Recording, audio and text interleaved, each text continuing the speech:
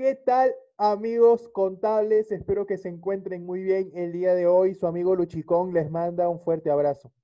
En este video les voy a mostrar una noticia que salió el día de hoy, cuyo titular indica que en el mes de septiembre se estará realizando la interpelación a la ministra de Economía, María Antonieta Alba. ¿Qué nos indica el artículo periodístico?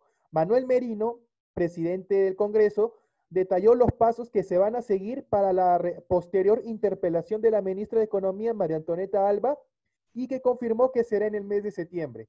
Indica que este viernes habrá una sesión en el Pleno en donde se va formalmente presentar dicha interpelación y una vez haya sido eh, presentada, se debatirá para aprobarse o rechazarse dicho, eh, dicho procedimiento de interpelación. Indica también que una vez se haya aprobado, se tiene un plazo de 10 días para pedir la presentación de la ministra en el Pleno, ¿no? Para que la ministra acuda al Congreso. E indica que se estará realizando, como indicamos, el mes de septiembre, posiblemente. Acá yo les voy a dejar el video en donde el presidente Manuel Merino justamente habla acerca de dicho tema. En pleno debe leerse ya la presentación de la interpelación de la ministra que ha estado todavía sin de la interpelación de la ministra que ha estado todavía sin leerse en el pleno y el procedimiento es después de la lectura de la interpelación en la sesión siguiente debe ponerse a debate para ver si es que se aprueba o se rechaza. Una vez que se apruebe, a partir de la aprobación se tienen 10 días, desde el cuarto día hasta el décimo día, para pedir la presentación de la ministra en el Pleno del Congreso. Estaríamos hablando ya del mes de septiembre, donde posiblemente tengamos a la ministra para la interpelación. Naturalmente una interpelación es un procedimiento que permite que un ministro dé respuestas concretas sobre preguntas concretas.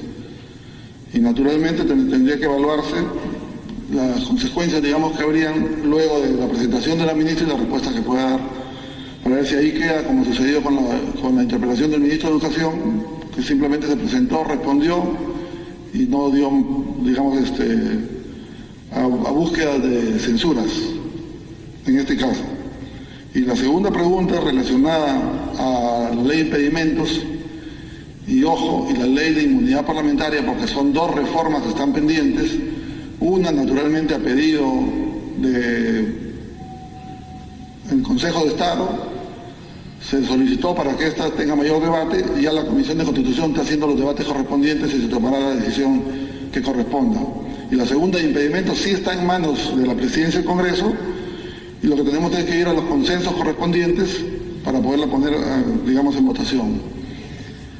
Todos debemos recordar que se puso en debate en, la libertad, posiblemente lo pongamos en debate en la primera semana de septiembre y veremos si las condiciones son dadas, se someterá al voto o se hará una ronda nuevamente de debate.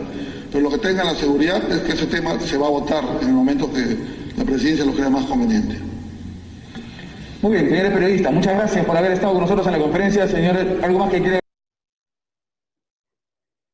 Muy bien, amigos contables, como están escuchando, eh, el viernes en el Pleno se va a presentar formalmente la interpelación a la ministra de Economía y la próxima semana se estará debatiendo si es que se aprueba o no.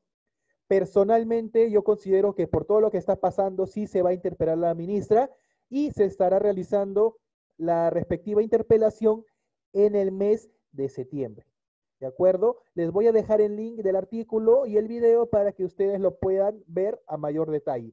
Nos estaremos viendo en una próxima oportunidad. Chao, chao.